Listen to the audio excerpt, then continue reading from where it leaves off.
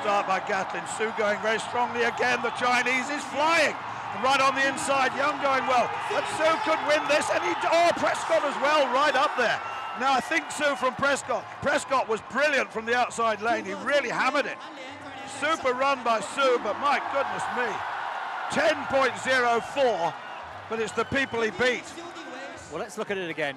Su got an absolute flyer. Already has got half a metre on Gatlin. Seems to be sucking in the air here. Xie going well as well, but look at Prescott.